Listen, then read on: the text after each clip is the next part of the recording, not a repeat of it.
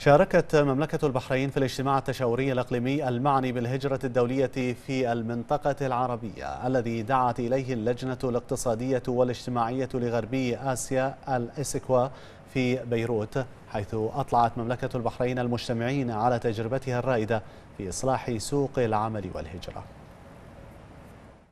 الاجتماع التشاور الإقليمي المعني بالهجرة الدولية في المنطقة العربية الذي دعت إليه اللجنة الاقتصادية والاجتماعية لغرب آسيا الأسكوا في بيروت وفر فرصة الاستماع إلى تجربة مملكة البحرين الرائدة التي بدأ العمل بها حديثا والمتعلقة بالتأشيرة المرنة وتنقل العمالة.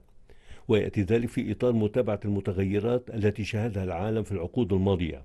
كما أن الهدف من هذا العهد الدولي الجديد هو وضع معايير جديدة لتنظيم عملية الهجرة والتنقل في العالم والتي أصبحت أحد الأمور الساخنة المطروحة على جميع الموائد هذه الأيام. البحرين قامت بتجربة رائدة في عملية إصلاح سوق العمل والهجرة منذ العام 2004 ودخلت في مرحلة نضوج أدت إلى أن إحنا مع منتصف هذا العام أطلقنا نظام جديد يسمى نظام تصريح العمل المرن وهو آه، له آه، آه، تأثير كبير على إدارة السوق حيث لأول مرة في هذه المنطقة من العالم هناك إمكانية للعمل والإقامة الدائمة لغير المواطنين بدون كفيل وبدون صاحب عمل مواطن. هذه تجربة رائدة. قوامها حوالي خمسين ألف شخص.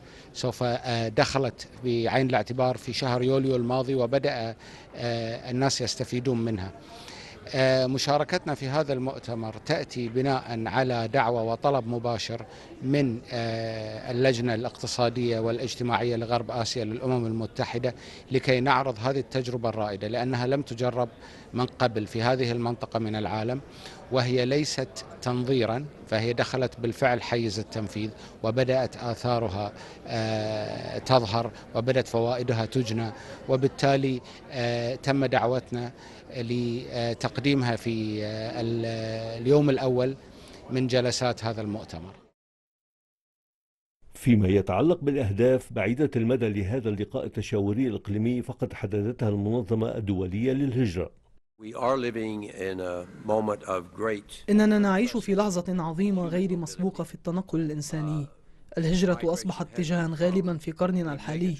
إنه الوجه الإنساني للعولمة وبالتأكيد يجب أن يبقى. فالناس ينتقلون بصورة لم يسبق لها مثيل في التاريخ.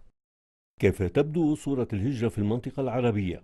في عام 2015 استقبلت الدول العربية 35 مليون مهاجر وهاجر منها أكثر من 26 مليون مهاجر.